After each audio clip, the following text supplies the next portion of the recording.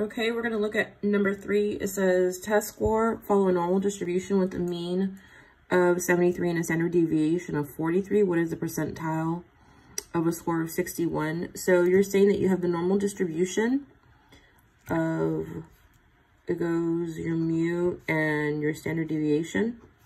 So get a piece of paper. Let's do number three.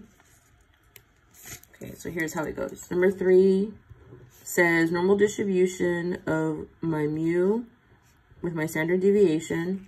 My mu equals 73 and my standard deviation equals 4.3. It says test scores follow a normal distribution with a mean of 73 and standard deviation of 4.3. What is the percentile of score 61? So basically, you're just to like that. You're to build your normal curve. We know that the mean goes in the middle, and it's just 73. And then you're just to do your standard deviations to the right and your standard deviations to the left. So when you're doing this, basically all you're doing is you're going to say 73 plus each standard deviation. So 73 plus 4.3, which is 77.3, and then plus 4.3, 81.6, and then the one on the right, plus 4.3 equals 85.9. The ones to the left, 73 minus 4.3, 68.7 minus 4.3, 64.4 minus 4.3, 60.1. And we know that 61 is going to be right in here. This is 61. So we want to know the percentile and the area under the curve is going to be this teeny tiny area. So when you're putting this in the calculator, let's just go over what the buttons will be. It's going to be my normal CDF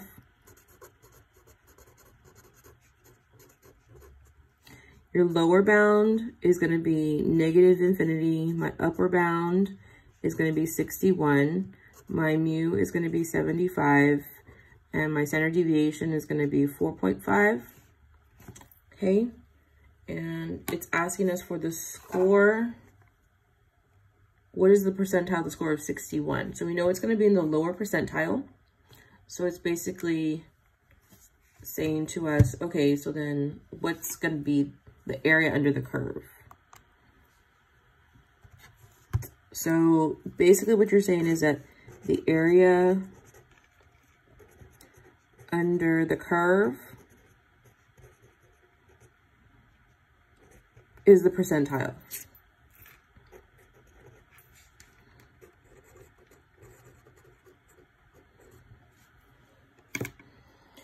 So to get this, you're just going to go menu, statistics, and then you're going to go to distributions, normal CDF, and then that's negative infinity.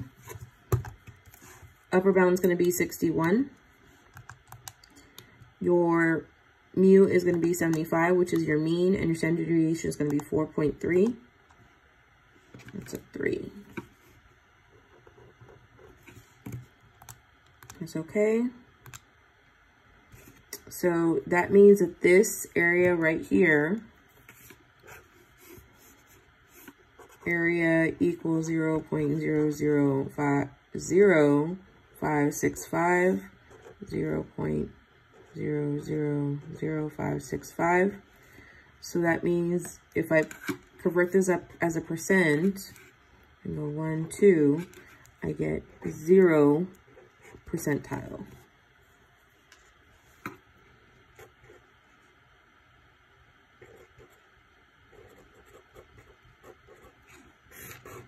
And that's number three.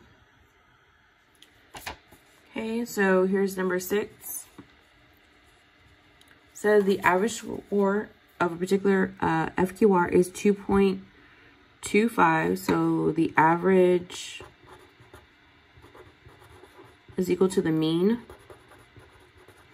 which again is either X bar or the mu.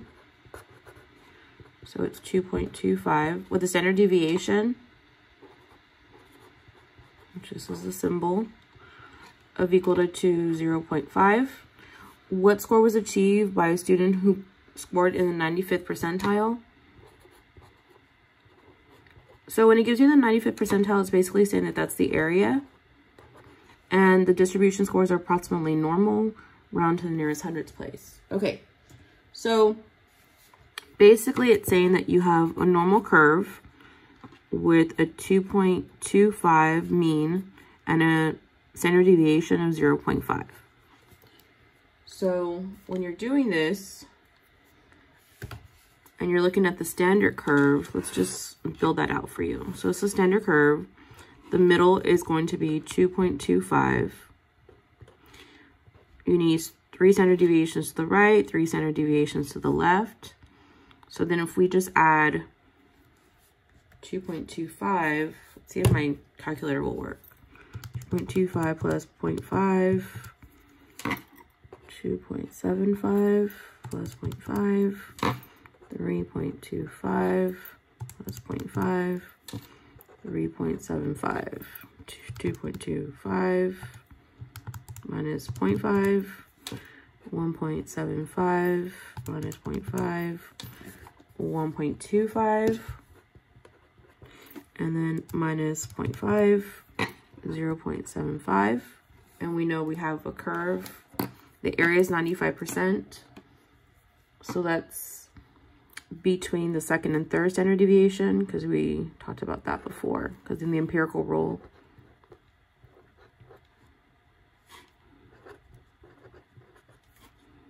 means all of this shaded is 95.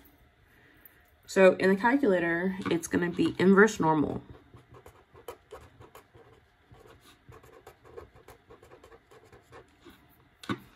Area mu equals 2.25, standard deviation equals 0 0.05. It's asking what the score was. So this is going to be the score. Remember, or the z-score. Because this right here is the z-score. And remember, everything under the curve is the area.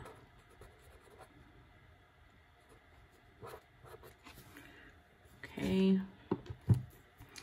So I'll do it on both calculators. Second, vars, inverse normal. Area is 0.95. Mu is 2.25. Standard deviation 0.5. The tail is center. Paste. Okay. So you're going to get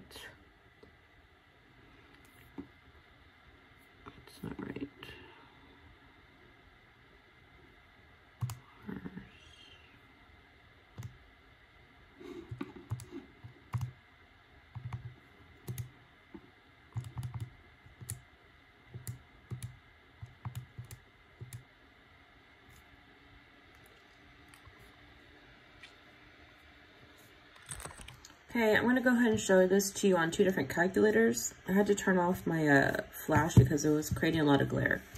So, again, you're going to do an inverse normal. So this is a 84 plus. I'll also show you on the Nspire. You're going to go to second VARS. Oops, second VARS. And then you're going to go to inverse normal. It's going to be 0.95. Uh, your average is 2.25 and your standard deviation is going to be 0.5.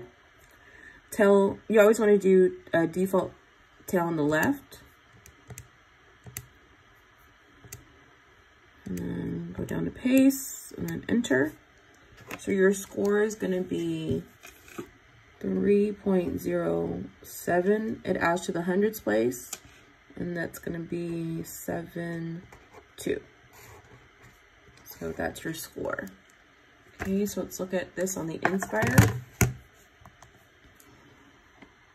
You're going to go to Menu, Statistics, Distributions, Inverse Normal. The area is going to be 0 0.95. Your, oops. And then your, I didn't change the, um, I didn't change the standard deviation. So that's why the operation's wrong. So go back here to inverse normal. And area is going to be 0.95. And then your mu is going to be 2.25.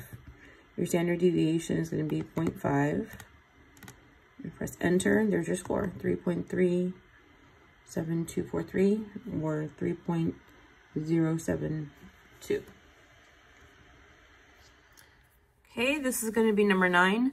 The yearly average rainfall in Orlando is normally distributed with a mean of 52 inches. If the rainfall in Orlando exceeds 62 inches in 20 years, what is the standard deviation? Okay, so this one is a little bit different. Mm, I'm going to post it. So again, it gives us an area, but that's not the area we're going to be looking for. It says if the rainfall in Orlando exceeds 62 inches in 20 years, what is the standard deviation? So what you need to know is you need to look for the 80% on this one because of your graph. Because you're going to look for the inverse normal because, again, it gives you the area. So here's what we know. We know we have a normally distributed curve. We know that we have something happening here at 0 0.20. We know that this area is 0 0.80. And we know our mean is 52. We want to know what happens at 62 because we're assuming it's 20%. So that's this over here. We don't know our standard deviations. So Z equals x minus mu over standard deviation. So I need to find my z right here. Again, we're going to do inverse normal. I'm going to say that my area that I'm looking for is 0 0.80. Mu equals 0. Uh, standard deviation equals 1. Okay, and then we're going to get our z, and then we're going to work from here. I'm going to use an Nspire going to go to menu,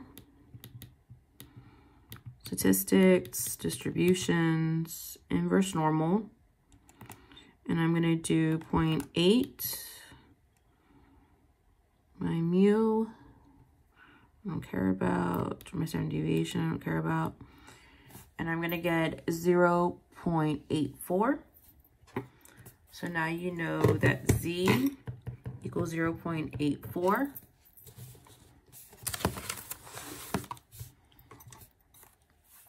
All right, now this is just math.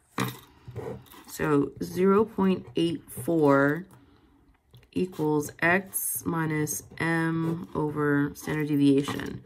0 0.84 equals 62 minus 52 over standard deviation. So that's 10 over standard deviation equals 0 0.84. So 0 0.84 over 1 equals 10 over standard deviation. Multiply both sides by standard deviation. 0 0.84 standard deviation equals 10 because those standard deviations cancel out divided by 0 0.84 0 0.84 10 divided by 0 0.84 is 11.9. So standard deviation equals 11.9. That's your answer.